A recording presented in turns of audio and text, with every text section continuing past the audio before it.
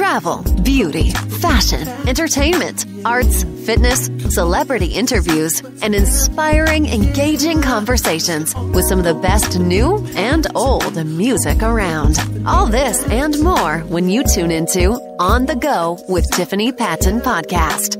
Now, here's your host, Tiffany Patton.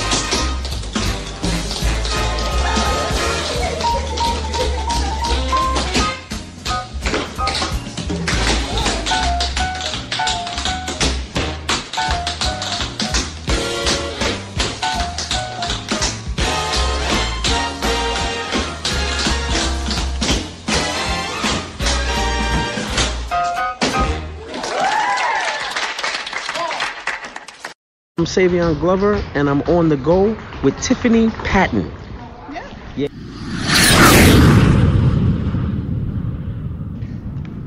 I am here with the renowned tap dancer, choreographer, actor, Savion Glover. Now, Savion, you've worked with some of the greats. Um, my most favorite movie when I was a little girl, because I'm a dancer, was Taps. And to watch some of the legendary African American dancers in tap um, kind of take you up under their wing in that movie was also ditto to your everyday life. How incredible was that to be able to um, be taken up under the wings of uh, Gregory Hines, who we miss, Sammy Davis Jr., whom we miss, and so many others.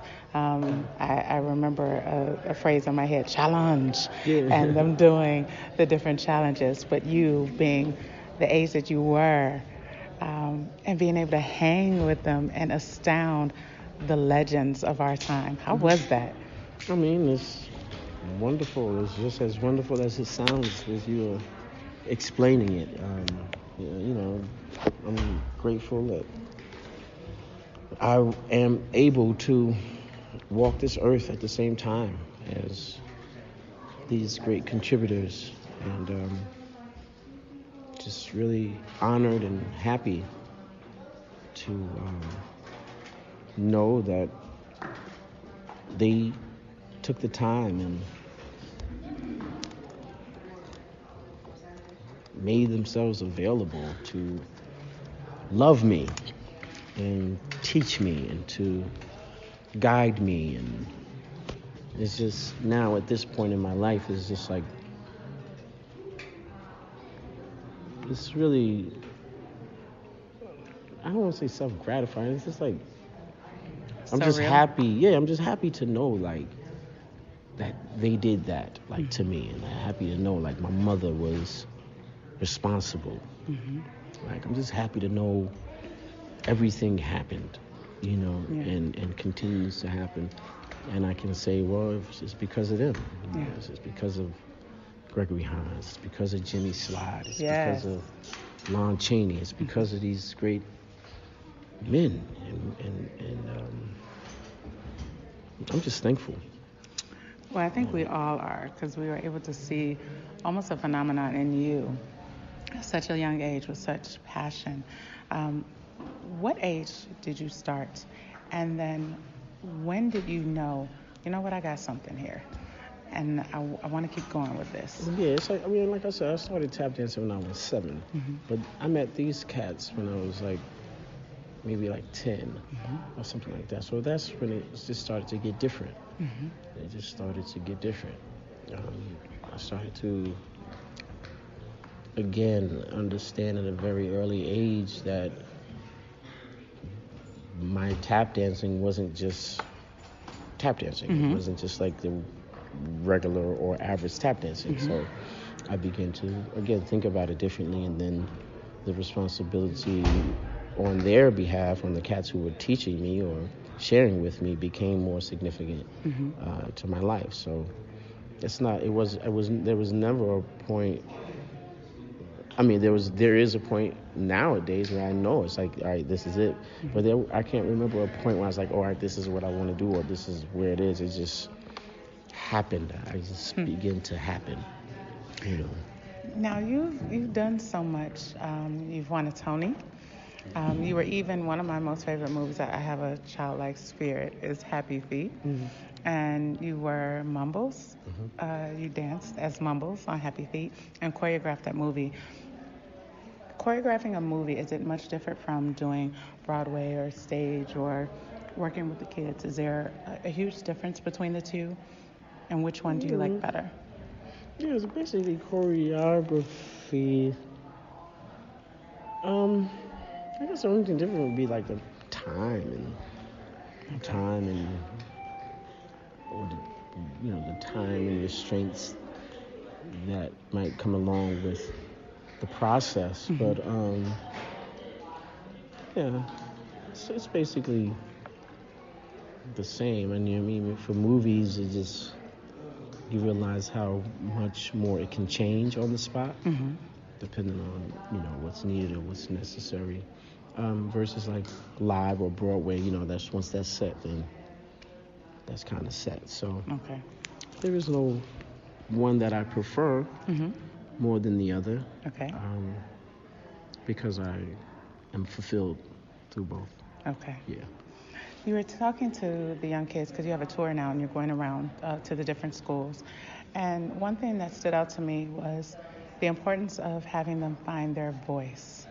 Um, because there's a passion and there's a story that you can tell only through yourself and by not mimicking others. Yeah. Why is that so important to get in dance? Because to me, it's almost like something that spills over universally. Yeah. Um, well, like I said, this is life to me. So at this point in my life, is I, I don't know how to do anything else. So where I am in my life is like a, a point of my understanding is that I do exist and that my voice does matter. I've been situated to be in environments that allow me to um, receive treatment. And been undercover as a human being. Mm-hmm. I've been I've been as I've been in places that they didn't know I was there because they saw Savion. Mm-hmm. But meanwhile, I'm there investigating mm-hmm. the human being in the environment and the treatment um, has allowed me to understand oh my voice matters my presence matters beyond um, um, yeah, you know, I'm, I was just like, so, so the teaching, so the teaching and the sharing is like of now. The teaching, the teaching and the sharing is the importance of us as an existence. Um, so it just so happens that I am now able to do this through a session of tap dancers or with tap dancers. But through these sessions, it's it's my duty to, you know, find a young cat who's listening in another way, mm-hmm. and that young cat needs to know it's important that you have a voice. He may not know how to tap dance when he comes out of here. Mm. He may not remember what a shuffle off the buffalo or who Maxie Ford is, mm-hmm. Mm-hmm. but maybe he'll remember it's important that I express myself. Maybe he'll remember, mm-hmm. oh, when I'm present, then I I matter. I, I need to be responsible, or you know, other than I got some fancy step. You know, so I'm I'm I'm beyond that right now. Last question. You work with so many greats um, that have gone on. If they were here today, if there was something that you could ask any of them, who would it be and what would it be?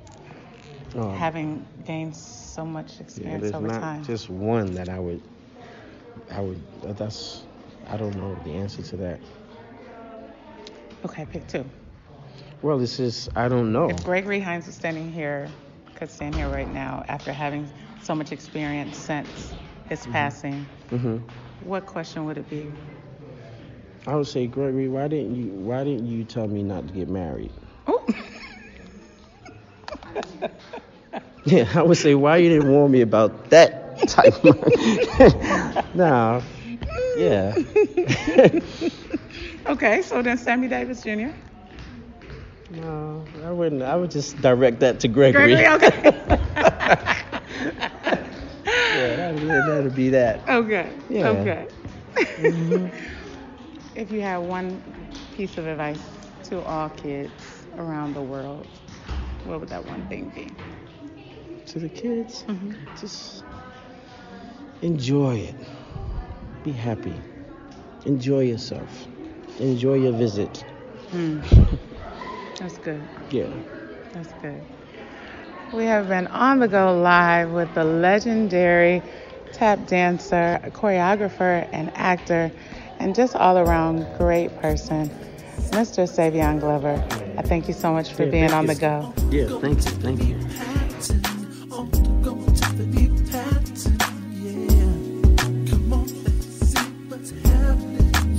I'm Savion Glover, and I'm on the go with Tiffany Patton.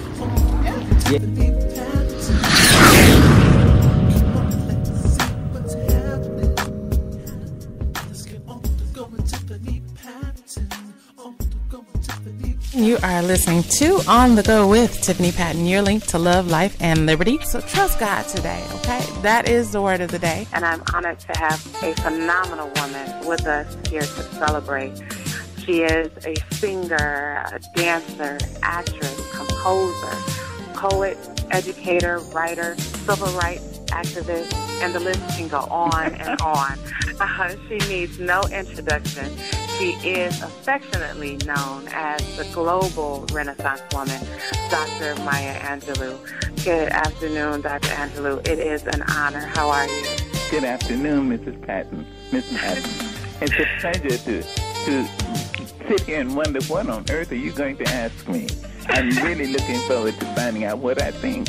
I am on the go with the very beautiful Cathy Hughes. Unfortunately, um, a lot of women don't open the door for other women, which is so bad. Radio has instant gratification. You can help people with the sound of your voice immediately and to be able to connect people. So don't ever, ever, ever look back, don't back, don't ever doubt yourself and just know that when the time is right, the good Lord will send the blessing.